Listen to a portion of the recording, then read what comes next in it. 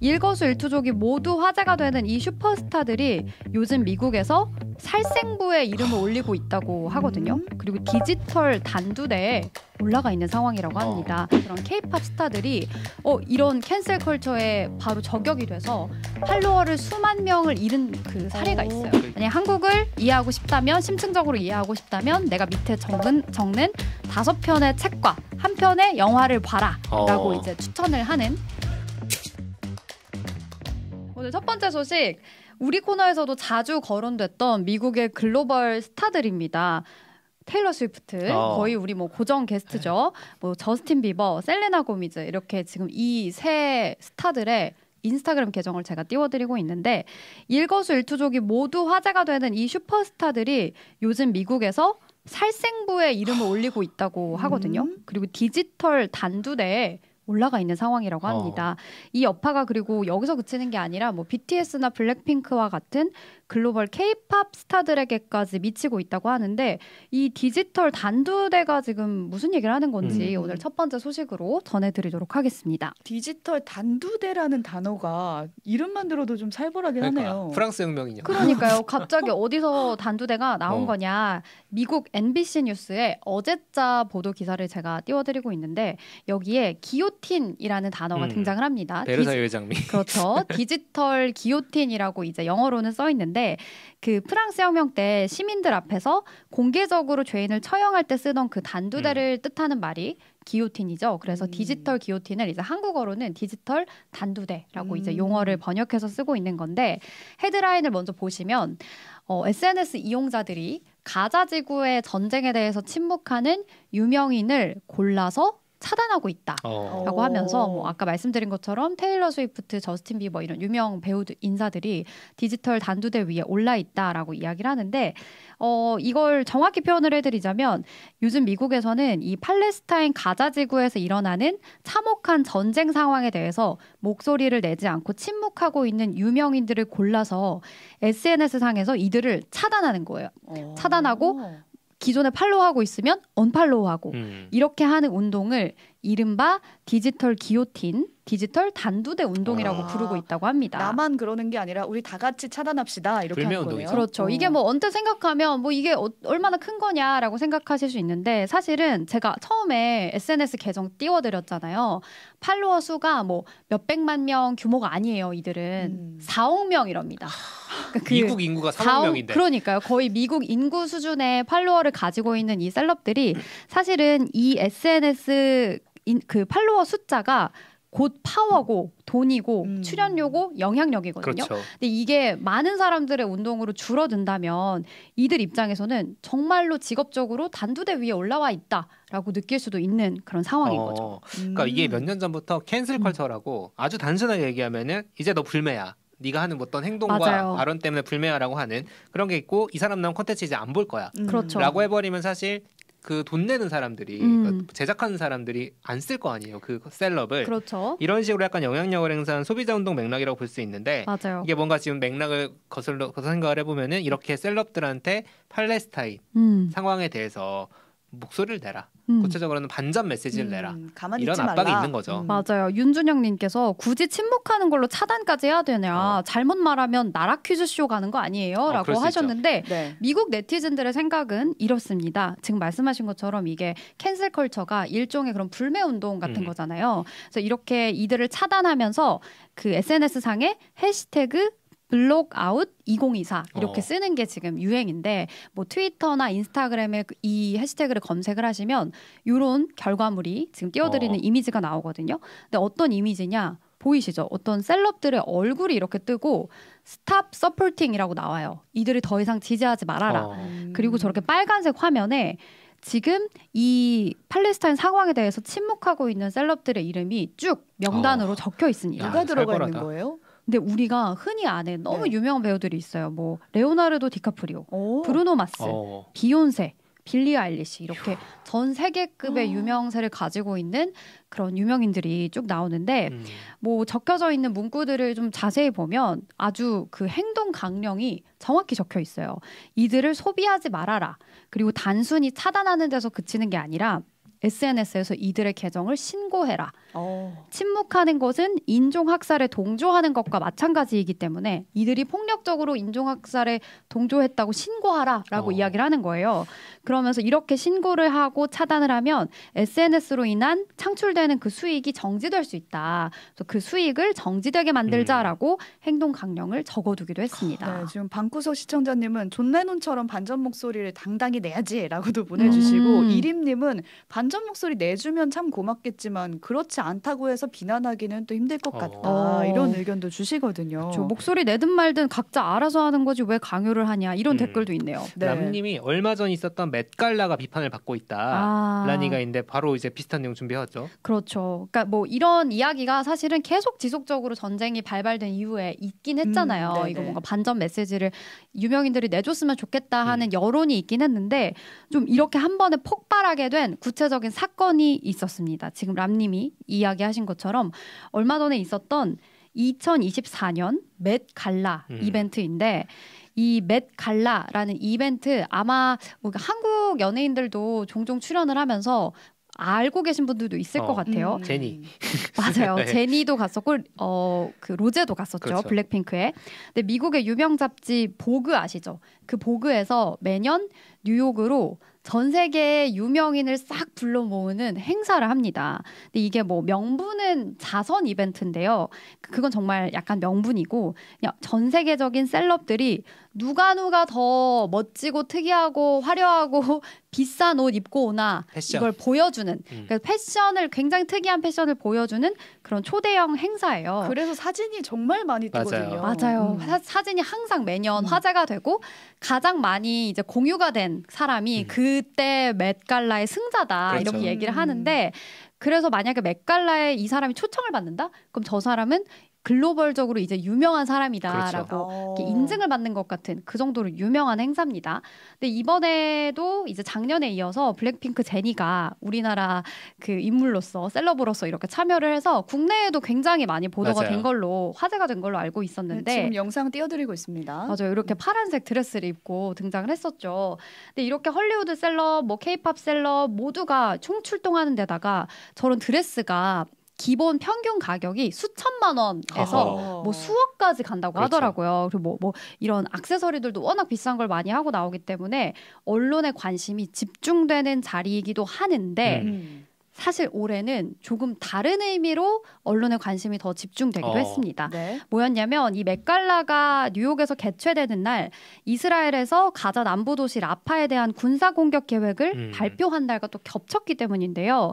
행사가 막 이렇게 뉴욕에서 일어나고 있을 때 바로 그 행사장 앞에서는 제가 지금 화면에 띄워드리는 것과 같은 이 친 팔레스타인 시위대가 가자 전쟁 종식을 요구하는 시위를 열고 어. 있었기 때문입니다. 아, 시위를 널, 열고 있는데 좀 제압당하고 있네요, 또. 맞아요. 현장에서 체포된 음. 인원도 꽤 있었다고 하고 그 사진으로 보듯이 지금 규모가 꽤 커 보이죠. 그렇죠. 이 길을 다 점령할 정도의 큰 행진이 있었는데 말씀하신 것처럼 경찰에 연행되기도 하면서 좀 심각한 음. 상황이 이어, 이어졌고 그러니까 뭐 언뜻 우리가 생각을 해보면 정말 아비규환이었을 것 그렇죠. 같아요. 음. 이 그런 순간이. 상황이죠. 그런데 그렇죠. 이게 맥갈라 연회장 바뀌었다. 그러니까요. 그럼 완전히 대조가 되는 거죠. 그러니까 완전히 한쪽에서는 그냥 이, 이 포토 라인을 기준으로 해서 한쪽에서는 막 수천만 원짜리 드레스를 입고 음. 화려한 행사를 하고 또 한쪽에서는 사람 죽이지 말아라 이렇게 반전 행사를 음. 하고 있으니까 조금 아이러니한 상황이 음. 연출되는 상황이었는데 이 현장에서 이제 네, 이제 네티즌들의 대중 대중들의 분노를 촉발시키는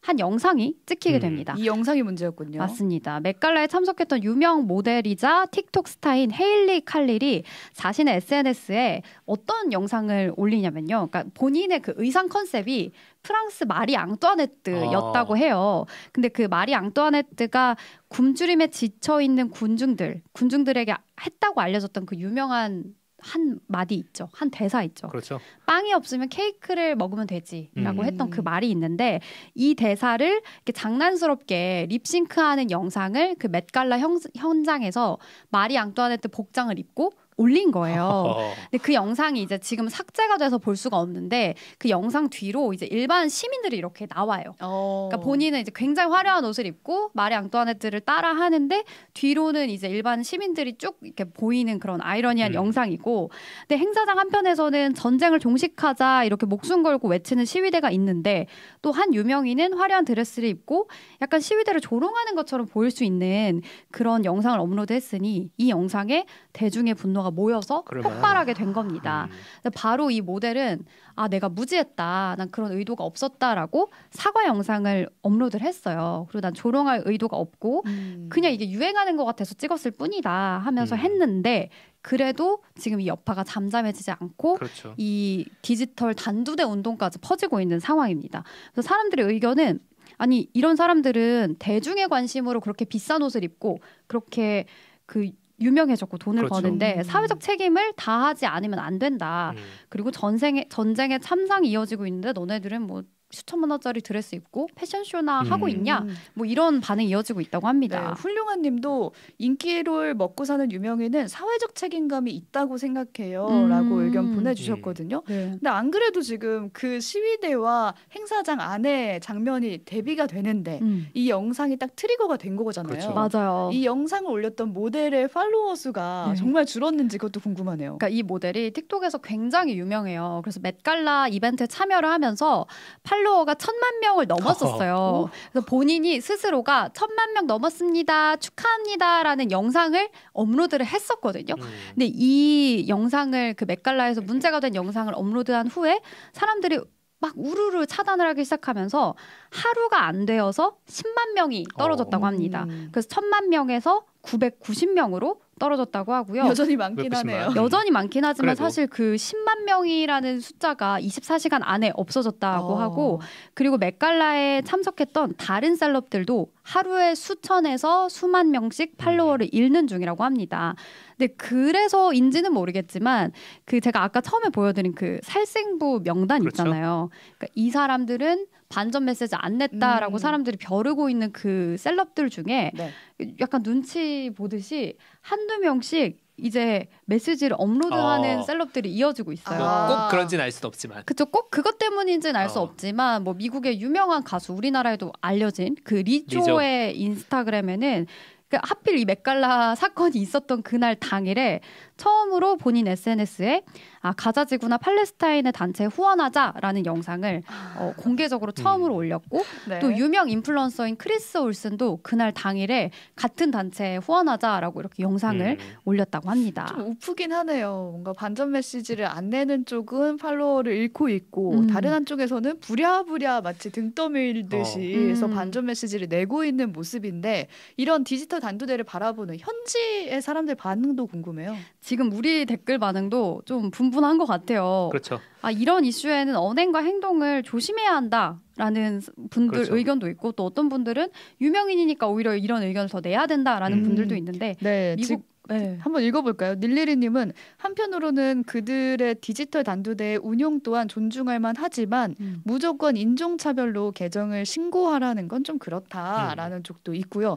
요구할 수 있다라는 쪽도 있거든요. 그렇죠. 전우진님 반전 소리 내줘야 된다고 봅니다. 저 정도 글로벌 음. 스타라면 무게를 안아야죠. 그렇죠. 마이클 잭슨이 그립군요. 어, 이런 Heal the 얘기도. World. Heal the World 네, 침묵도. 자유, 불매도 자유라는 의견도 그렇죠. 있는데 미국도 이렇게 의견이 분분합니다. 그렇죠. 그러니까 뭐 사실 전쟁이 중요한 거지 유명인을 비난하는 것에 집중하면 안 된다. 유명인을 비난한다고 해서 음. 전쟁이 끝나는 건 아니다. 이런 반대 의견도 있고 또 반면에 실제로 유명인들이 이렇게 업로드를 해주면 후원금이 금방 찬다고 하거든요. 그렇죠. 그러니까 이런 영향력이 있기 때문에 나서줘야 된다라는 음. 의견도 있고 좀 양쪽으로 갈리고 있는 상황이라고 합니다. 자, 사실 이게 맥락이 좀 있는 게 네. 미국에서는 지금 또 대학 캠퍼스를 중심으로 반전 시위가 엄청 크게 일어나고 있어요. 맞습니다. 지금 뉴욕 타임즈 그 홈페이지에 들어가시면 아예 이걸 실시간으로 전국에 있는 그 캠퍼스 시위 상황을 보도를 하, 업데이트를 해주고 있거든요. 어, 근데 이게 어, 왜 이렇게 미국 사람들은 심해 하실 수 있겠지만 요런 이 맥갈라 사건이 있기 전에 미국 전역의 대학가에서 문자 그대로 정말 들불처럼 이 반전 시위가 퍼져나가고 음. 있는 상황입니다. 지난달 18일 이후로 미국에서 시위로 체포된 학생이 전국에서 2,500명이 넘는다고 하고요. 특히 어, 미국 대학은 졸업식이 5월부터 시작을 어허. 해요. 그러니까 5월과 6월 동안 졸업식 시즌이 그 시작이 되는데 졸업식이니까 사람이 많이 모이고 그렇죠. 연사도 있고 주목이 많이 될 거 아니에요. 그래서 이 졸업식에서 다양한 방식으로 반전 시위가 지금 진행이 되고 있다고 음. 합니다. 뭐 음. 옷을 같이 단체로 맞춰 입기도 하고 노래를 부르기도 하고 아예 졸업식을 뭐 이 안 하는 걸로 시위에 그걸 어허. 보여주는 것도 있고 왜냐면 그 연사가 나오잖아요. 근데 그렇죠. 연사가 친 이스라엘 인사가 나온다. 아. 이러면 뭐 졸업식을 거부하기도 하고 지금 뉴욕타임스 보도로 이제 미국의 유명한 명문대 중에 하나인 듀크 대학교의 졸업식 시위 장면이 나오고 있는데 이렇게 졸업 그 모자를 쓴 가운을 입은 학생들이 반전 플랜카드를 그렇죠. 들고 졸업식에 참여하고 있는 모습도 있습니다. 또 프린스턴 대학교에서는 단식 학생들이 아이고. 단식 농성을 했다고 하기도 하고요. 그 제가 말씀드린 것처럼 이스라엘계 인사가 그 졸업식에 오면 그렇죠. 안 가겠다 이런 음. 보이콧 움직임도 있다고 하고요. 이게 학생들만 하는 게 아니라 지금 교수들도 맞아요. 참여를 하고 있는 게 좀 화제가 되고 있어요. 네. 왜냐하면 지금 미국 대학가에 있는 교수진들이 본인이 어렸을 때 해봤어요. 청년의 시절에 그 베트남 전쟁에 대해서 반전 맞아요. 시위를 했던 그 세대들이 이제 교수가 됐대요. 그래서 그 월스트리트 저널에서는 아예 이 현상을 분석을 하면서 베트남 전쟁 반전 시위를 해서 비슷한 경험을 공유하고 있는 그 베이비붐 세대의 교수들이 오늘날 학생들의 반전 시위에 갓 동참하고 있다. 어허. 음. 이렇게 분석하는 기사를 내기도 했습니다. 자, 우리나라에서도 반전과 연관된 시위가 진행되긴 하는데 소규모인 것 같다. 음. 미국은 왜 그렇게 클까라고 하시는데 음. 지적해 주신 것처럼 미국은 사- 실제로 이스라엘에 영향력을 끼칠 수 있는 나라입니다. 그렇죠. 바이든 대통령이 실제로 네타냐후 총리와 여러 가지 이야기를 하기도 하고 그렇죠. 이스라엘이 미국의 눈치를 어느 정도 보고 있기 때문에 음. 그 차이도 좀 있을 것 같긴 하네요. 그렇죠. 어쨌든 제가 걱정이 되는 것은 네. celeb들이 이렇게 디지털 단두대에 올라간다고 하면 우리 케이팝 아티스트들도 자유롭지 않을 수 있다. 그렇죠. 음. 제가 오늘 앞토크에서 잠깐 말씀을 드렸던 게 뭐냐면 이제 친 이스라엘계 기업이다라고 분류가 되는 기업들 중에 음. 맥도날드와 있죠. 스타벅스가 있거든요. 근데 이 해당 두 기업의 광고 프로모션을 진행했던 혹은 본인의 라이브 방송에서 뭐 해당 두 기업의 식품을 섭취를 했던 그런 케이팝 스타들이 어 이런 cancel culture에 바로 저격이 돼서 팔로워를 수만 명을 잃은 그 사례가 어. 있어요. 그러니까 이건 소위 있어요? 불똥이 튀는 거죠 어떻게 오. 보면. 맞아요. 그러니까 뭐 본인은 아마 정말 모르고 이렇게 해- 음료를 마셨겠지만 뭐 NCT의 멤버도 그런 일이 있었고 가수 전소미 씨도 그런 일을 겪었었는데 이렇게 전 세계적인 영향력을 이미 가져버린 K-팝 celeb들이기 때문에 이 여파를 피해가기는 어려울 것처럼 보입니다. 음. 실제로 두 달여 전에 어떤 일이 있었냐면요. 그 BTS의 소속사 하이브의 미국 법인 CEO가 지금 사진 띄워드리고 있는 중앙에 있는 스쿠터 브라운이라는 굉장히 유명한 인물이에요 미국에서. 근데 이 사람이 대표적인 친 이스라엘계 인사입니다. 그러니까. 가자지구 전쟁을 좀 지지하는 듯한 발언을 해서 문제가 됐던 인물인데, 그러니까 BTS의 해외 팬들이 어 그를 하- 사임하지 않으면, 그를 해임시키지 않으면 우리가 더 이상 BTS를 소비하지 않겠다 음. 이렇게 시위 트럭을 한국까지 용산 보냈어요. 사옥 앞까지 보내기도 하, 보낸 적도 있다고 하거든요. 아 사실 그 K-팝 스타들 같은 경우에는 이런 메시지를 내는 게 좀 익숙하진 않은 것 같거든요. 그러니까 예를 들어서 한국은 이제 그런 문화가 아니잖아요. 네. BTS가 유엔 총회에서 이제 연설하고 공연했을 때는 사실 되게 어떻게 보면은 general 일반적인 그- 메시지였단 그쵸, 그쵸. 말이에요. 누구나 동의할 수 음. 있는 그렇죠. 그런 부분이었는데 이게 굉장히 첨예하게 갈린 이슈다 보니까 음. 우리 케이팝 아티스트들이 뭔가 입장을 내기도 되게 애매한 그러니까요. 그런 하- 상황이 될 거예요. 하지만 영향력은 점점 더 커져가고 그렇죠. 있으니까 피할 수 없는 상황에 맞닥뜨리고 있는 것 음. 같거든요. K-팝 아티스트들 소셜 미디어 여러분 한번 들어가 보시면 댓글에 다 이 이야기로 도배가 되어 있어요. 그러니까 오. 한글 댓글보다는 아마 영어나 맞아요. 음. 다른 이제 좀 더 이런데 관심을 가지고 있는 국가에서 맞아요. 약간 뭔가 입장을 또 요구한다라고 하면은 사실 이게 우리나라 사람들이 봤을 때 뭐 테일러 스위프트도 이제 익숙하긴 하지만 뭔가 그래도 먼 나라의 셀럽이잖아요. 네, 그렇죠. 근데 우리나라의 셀럽들이 음. 저런 상황에 처한다고 했을 그렇죠. 때 그런 압박을 받고 있는 지지할 수 상황이죠. 있을까? 네. 아, 저는 사실 정우성 씨 생각이 계속 나기도 하거든요. 아. 정우성 씨가 유엔 난민 그 대사잖아요. 바로- 네. 그래가지고 되게 적극적으로 열심히 활동을 하고 있잖아요. 음. 근데 이제 이런 경우에 대해서 되게 다들 아 대단하다라고 음. 생각을 하고 그 메시지 긍정적으로 읽는 거랑 별개로 하지 않으면 욕한다. 음. 이거는 또 다른 차원일 수도 있지 않을까. 그러게요. 음. 라는 생각이 들기도 해서 이거 디토크에서 조금 더 얘기를 나눠봅시다. 네, 네. 우리 케이팝 스타들도 준비를 음. 해야 되지 않을까라는 생각은 해봅니다. 네. 네. 여기서 인사 나누겠습니다. 박수정 PD, 조석연 PD 고생하셨습니다. 네, 감사합니다. 감사합니다. 자, 여러분 저희가 못한 게 있습니다. 아, 오늘 맞아요. 오늘 아주 자연스럽게 마치 하나만 준비한 것처럼 오늘 끝났지만 사실 두 번째 소식이 알고 보니 두 번째 있었는데 소식이 있었어요. 그러니까요. 근데 오히려 이거 편하게 얘기할 수 있어서 맞아요. 좀 이게 좋은 것 같아요. 예, 예. 왜냐면 이게 좀 나락 퀴즈쇼스러운 어. 그런 발언도 있고 해서 아 그랬어? 우리 아까도 충분히 나락이었던 것 같은데. 아 아니 이게 그 이코노미스트가 영국의 잡지잖아요. 어. 음. 근데 어 이코노미스트에서 원래 이 기사를 보려고 제가 들어갔던 건 아니었고 그 여기서 한국의 노인 빈곤율에 대해서 음. 굉장히 심도 깊은 취재를 했길래 그 기사를 읽다가 밑에 이제 최근에 더 최근에 나온 한국 관련 뉴스 해서 이제 요게 나온 거예요. 어허. 이게 며칠 전이거든요. 5월 10 10일 기사인가 이런데 그러니까 제목만 보시면 어 South Korea를 이해 이해하다 혹은 이해해 보자 이런 음. 식으로 이제 번역하면 될 것 같은데 a success story with a dark side 그러니까 뭔가 어두운 면이 있는 성공 사례인 대한민국을 한번 어. 이해해 보자라는 음. 아 거잖아요. 이거 못 참지. 그렇죠. 근데 이제 이 이 첫 문장만 이 헤드라인만 딱 읽으면 우리가 유추할 수 있는 사실이 뭐냐면 굉장히 이해하기 어려운 나라로 인식이 되고 있다는 거예요. 그러게요. 어, 이 아, 쟤네 왜 대한민국이. 저래? 그쵸. 오. 우리가 뭐 understand 뭘 해보자라고까지 기사를 쓸 그치, 정도면 어 사우스 코리아에 대해서 그러면 이해하기 어려운 면이 무엇일까가 궁금하잖아요. 근데 그게 이제 저는 그 밑에 빨간 줄에 나온다고 생각이 드는 게 어떤 그왜 문화적으로도 성공했을까 이거예요 결국은. 음. 그러니까 뭐 경제적으로 빨리 성공한 거는 알겠는데 어떻게 동시에 그러니까 경제 성장과 문화 성장을 어떻게 동시에 할 수 있었는가 뭐 어. 이거에 대해서 사람들이 궁금해 하나 봐요 외국인들이. 아, 성공 비결이 궁금한 거군요. 그렇죠. 어, 그죠. 그리고 그 성공의 뒤에 있는 찐 스토리.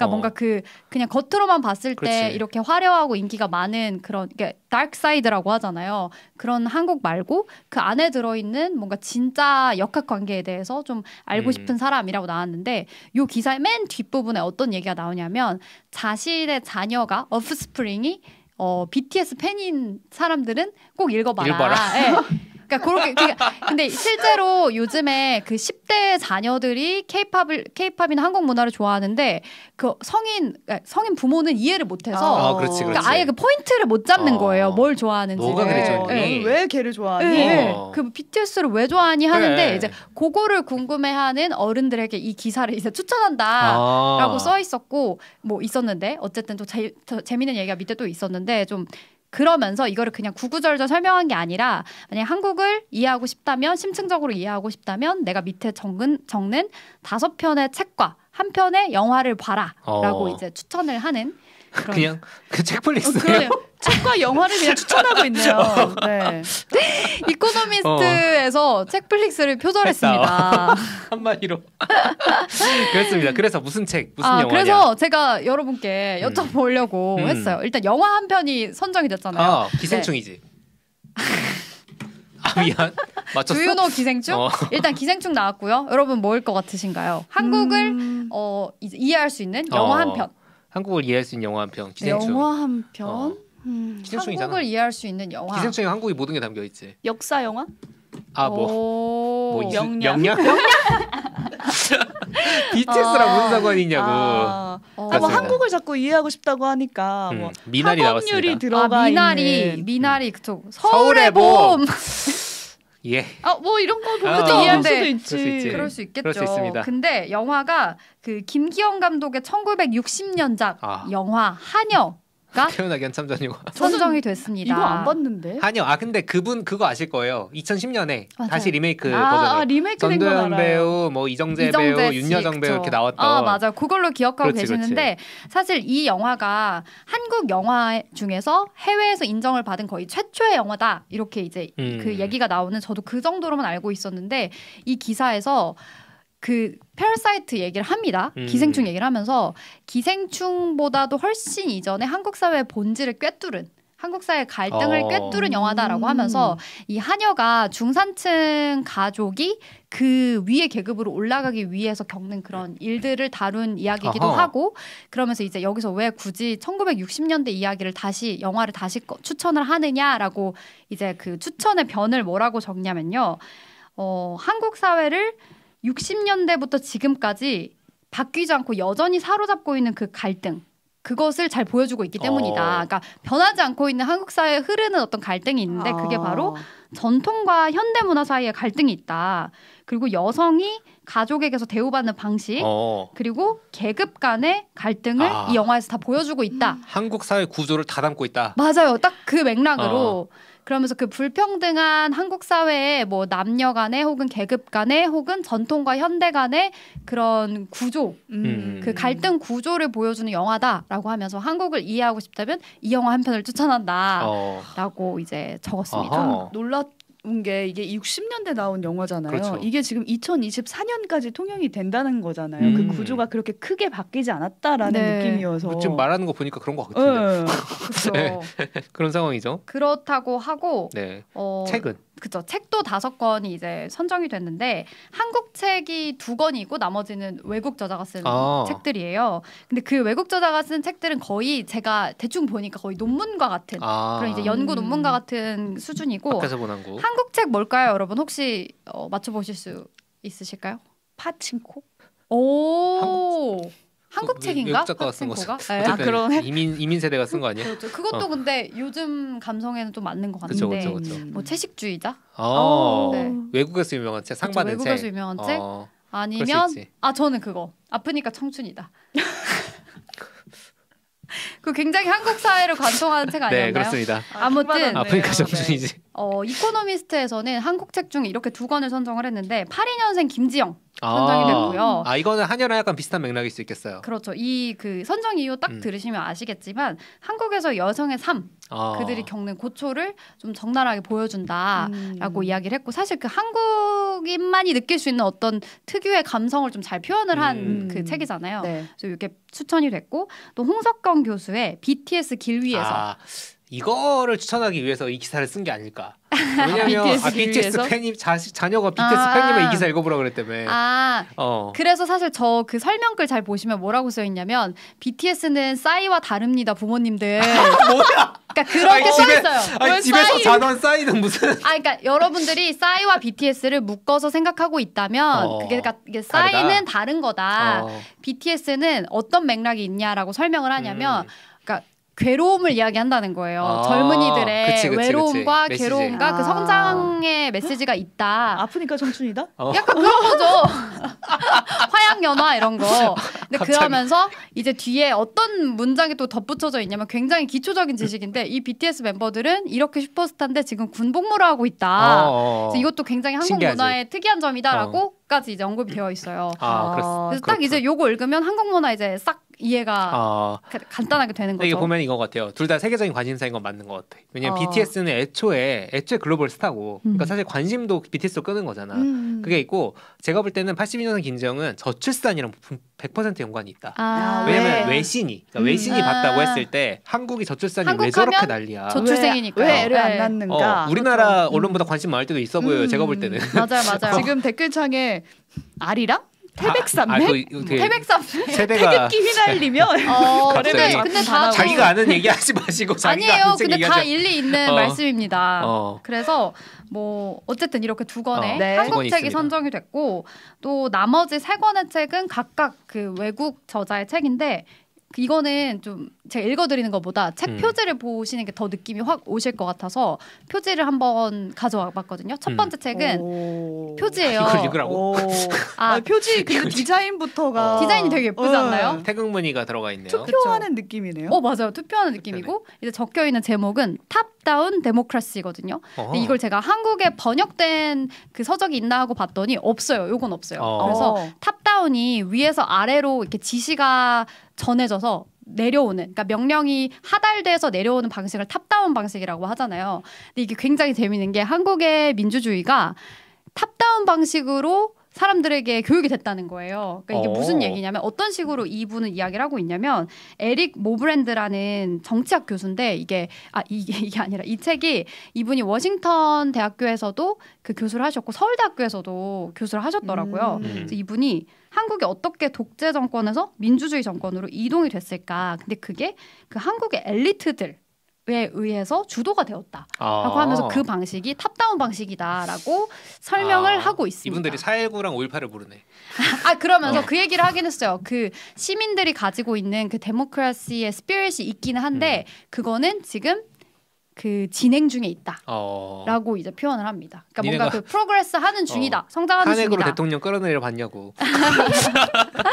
그렇죠. 그래서 어. 우리나라 민주주의는 좀 특이한 방식이다라고 이야기를 하면서 거기에 어떤 설명도 있냐면 한국에서 right와 left라고 쓰는 정치에서 음. 쓰는 용어는 여러분들이 일반적으로 생각하는 right, left와는 좀 다르다라는 다르다. 어. 설명까지 이게 일부 적혀 있더라고요. 어, 오, 서양이 본 자세하네요. 음, 맞아요. 그리고 그렇습니다. 두 번째 책은 이 책입니다. 이것도 이제 한국을 딱 설명해주는 어?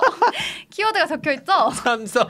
삼성 뒤에 애플이 있네요. 뒤에 애플이 애플이야. 뒤에 애플이 막 이렇게 먹이는 동공지진 동공지진 하고 있는 그 책인데 이 제프리 케인이라고 미국의 유명한 인류학자이자 음. 언론인인데 또 이분이 이 삼성이 어떻게 애플이라는 tech 기업을 그 전 세계에서 시장 점유율로 이기는 그런 큰 기업이 됐는지 어. 그 성공 신화에 대해서 설명을 하면서 한국에만 존재하는 재벌 아, 이라는 어. 그 재벌 어. 이라는 한국에만 있는 그 단어죠. 그 재벌이라는 개념에 대해서도 설명해주는 책입니다. 아 그거는 해볼 만하다. 그렇죠. 어, 특이하니까. 그렇죠. 삼성과 뭐 재벌 요걸 이해하지 음. 못하면 한국의 경제 성장을 그렇지. 이해할 수 수 없기 없다. 때문에 국가주도에. 그러니까 정치로는 아까 그 책 그리고 경제로는 이 책을 추천을 한 나름 거죠. 애썼네. 어, 관심이 되게 많네. 네, 그렇죠. 그리고 네. 이분도 계속 애쓰고 있어요. 지금 자기 자기가 이 책을 다 알아야 될 이유가 없는 사람이 이거를 저 조사를 그거 해야 있죠. 하는데. 왜막 대학교 때 안 읽 었는데 어, 막뭐 발표해야 될 척. 때처럼 열심히 그 리뷰 같은 걸 읽었고요. 봤어요? 근데 굉장히 보다 보니까 이 세 권 중에 한 권은 읽고 싶다라는 생각이 어? 들었거든요. 어, 뭔지는 뒤에 가서 알려드릴게요. 일단 어, 세 번째 세 번째 책부터. 아, 세 번째 책은 일단 제가 읽고 싶은 책은 아니에요.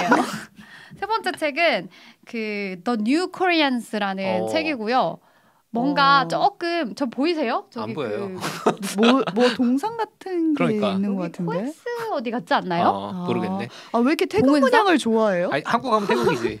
아 태극 문양. 어, 태국 그니까. 태국 문양. 요 이제 요 책 제목을 보시면 아시겠지만 음. 제목이 코리안스잖아요. 그래서 어. 이 책은 앞에 그 정치 경제에 집중했던 책들과는 다르게 한국인 그 사람들이 어. 어. 떤 사람들인가에 대해서 이제 이분이 누구냐면 마이클 브린이라는 저자가 영국의 작가이자 기자였는데 전 주한 외신 기자 클럽의 회장이었어요. 음. 그러니까 한국에서 오랫동안 계셨던 분이고 실제로 이런 그러니까 외국이 본 한국 이런 식의 콘텐츠로 음. 좀 유명한 유튜브에도 어. 많이 출연을 하시는 분인데 이게 이 책이 한국에도 한국 한국인이라는 아. 제목으로 번역이 된 책이에요. 근데 제가 이거를 왜 보고 싶은 별로 책 재밌어 보일 것 리스트에서 같아. 아니, 우리가 알 필요가 있을까? 그러니까 제가 왜 이거를 제외했냐면 어. 이게 조금 옛날 얘기인 것 같아서 아. 그러니까 또 이제 또 우리 세대의 한국인과는 조금 다른 문화 있다. 그러니까 어떤 이야기를 주로 하시냐면 한국인들은 뭔가 감정적인 것에 되게 휘둘리는 성격이 있다 어. 이런 이야기를 하, 는 거예요 음. 한국에서 정치를 하거나 어떤 기업을 하기 위해서 한국인이 가지고 있는 감정을 잘 알아야 된다 어, 한뭐 이런 얘기 나오는 거 그러니까 아니야? 어떤 예시를 얘기를 하냐면 반미도 있고 친미도 있고 반일도 있고 친일도 있고 이게 어. 막 뒤집듯이 왔다 갔다 한다라는 어. 거예요 전 국민이. 근데 그러면서 뭐 그 감정에 따라서 쉽게 이제 온 국민이 어. 움직인다라는 식으로 이 책에서 이야기를 했, 하더라고요. 되게 쉽게 말하네. 근데 저는 그게 어. 너무 단편적인 이야기인 것 같아서 그러게. 이 책은 안 읽어야겠다. 네, 그렇게 했는데 어쨌든 이 세 가지 책까지 포함해서 이렇게 다섯 권의 책을 어, 한국을 이해하고 어. 싶은 외국인들을 위해서 추천을 어. 하고 있습니다. 지금 다들 표지 보고 재미를 어, 지금 표지 쇼핑을 네. 하고 계셔요. 표지가 아, 약간 노잼이다. 노잼이다. 근데 표지만 봐도 사실 재밌어 보이는 게 좀 있지 않나요? 앞에 두 권 그 번역 그 영어 책 중에 앞에 두 권은 표지가 예뻤어. 어, 맞아요. PD 네. 삼생 읽어보고 거 싶은 볼건 뭐예요? 볼 건가요? 체벌 거? 아 저는 top-down, top-down democracy. democracy? 어, 진짜? 네. 오 정치 정치적이네. 아 그게 왜 그러냐면 이만큼 외국인의 시선에서 한국의 정치를 다루는 그렇지, 왜냐면 어. 뭐 삼성은 워낙 많이 다루잖아요 어. 외국에서도 근데 외국인의 시선에서 이렇게 분석을 한 책이 있었다니 있지 있지. 그래서 그 한국에서도 또 교수로 계셨었으니까 음. 좀 궁금했습니다. 궁금하긴 하네요. 네. 읽어보세요. 약속은 또 못하네. 약속은 또 못하네. 아, 네. 거짓말은. 못할 것 네, 같아서 거짓말은 사실 수정 PD는 이 책보다. 지금 봐야 되는 드라마가 있거든요. 아, 뭐 아. 바빠요. 그 누구 없고 튀는 네, 네. 드라마 누구 있는데. 아까 그, 그 노래 나갈 때 옆에서 저의 마음을 심금을 울리게 음. 영업을 해주셨어요. 아나운서 영업엔 진심이죠. 네. 시사명과 CBS에서 만든 오뜨밀은요 저녁마다 모여서 오늘 하루 있었던 뜨거운 이슈를 밀도 있게 나누면서 뉴스 근육을 키워 나가고 있습니다. 지금 바로 오른쪽에 버튼 눌러서 구독해 주시고요. 오뜨밀과 매일 저녁 함께 해주세요.